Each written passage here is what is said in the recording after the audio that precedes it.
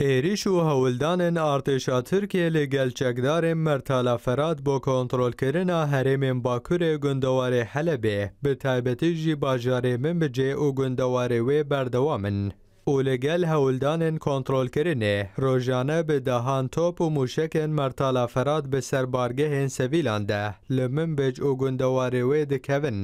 جیدرن خوجهی دانزانین نه کوج دسپیکا دمجمرن سبه و گندو باجاروکن روژاوای گندواره من بجه. به توپن مرتالا فرات و ارتشا ترکیه تینا آرمانج کرن نه او ده هیاما 24 دمجمرن بوریده. چکدار مرتالا فرات کمپانیه که تو برفره لدجی هرمن روژاوای گندواره من بجه پیکانین همان جیدر آن زانین نه کو ایرو در دورا دمجمر هشت و سبه چکدار مرتالا فراد گندن کوریوک سبویران بوگا خو ایلان یم بسر رو جوای من بجیوه به بیتری 111 توپن هاون آرمانج کرن او لگل آگاهین کو هاتنه به دست خستن نه لگنده کوهیوک هفت سویل جبروان ایریشان بریندار بون نه او او بو نخوشخانه باجار من بجی هاتن و گوهستن د بردوامی وان ایریشان ده لگل کنین گندواره من بجیجی پفچونن دجوار د نابرا هیزن سوریه دموکراتیک و مرتالا فراد در